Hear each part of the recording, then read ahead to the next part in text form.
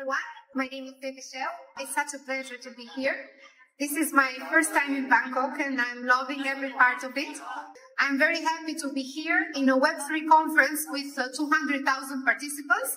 These things couldn't have been thought a while ago. It's still a little bit difficult to explain Web3 and blockchain to our friends. They have to say, oh, I have to remember 12 phase again. I have to remember another password as if internet was not difficult enough. Behind every visionary project, there is a visionary person. And in this case, it's uh, the founder of Meta Earth is Patrick Orr. Patrick has 21 years of experience in fintech and in finance, and he has worked all over the world, let's say from Zurich to New York to London. Patrick what he saw a lot of financial gaps. He saw a lot of harm done to our world, to our environment. And then he assembled a team of experts which are in uh, VR, in finance, in AI, and he backed up by $50 million development fund. Let's start with the tools. The first one is MeID. MeID is the access, your digital passport to enter into Meta Earth.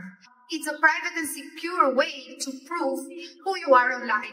With MeID, you get to enter to Meta Earth. After MeID, we have MePass. MePass is our uh, wallet where you can directly register and pass the KYC.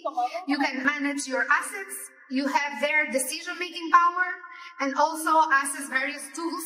The last thing is the Me Virtual. Just take up your goggles, put them on, and enter into Metaverse. Another very important thing in uh, Meta Earth is proof of personhood and the KYC verification. Why?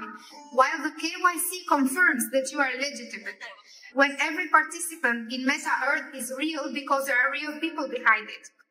And users can enter very easily into MetaWorld. But the backbone of it all, I can say that is the Me Network. Okay, what is the Me Network all about? So unlike monolithic blockchains, which can slow down when they have too many transactions, Me Network is a modular and multidimensional blockchain. And this kind of blockchain is built not to have any congestion, not to have any traffic. It operates in various layers and uh, here comes the four layer magic. We have the execution layer, which breaks down complex tasks into manageable steps. Let's say not one chef in the kitchen has to prepare all the plates. He gets different chefs to prepare the specialities. We have the settlement layer. The settlement layer acts as a quality control, verifying that every task is complete and accurate.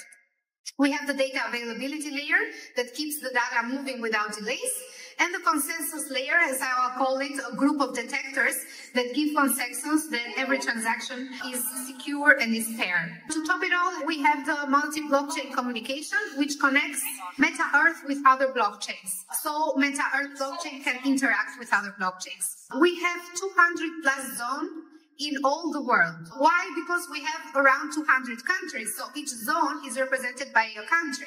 Let's say I'm a Spanish citizen and I'm represented by the zone of Spain. You are from Thailand and you are in the zone of Thailand. You can pass the KYC in our project and enter in the zone you belong to. The economic model of Meta Earth is very unique because experts have created a unique model that is free to join, so everyone can join Meta Earth. This means that any can be, anyone can become part of it, and because their tokens are limited, are deflationary, each token could become more valuable.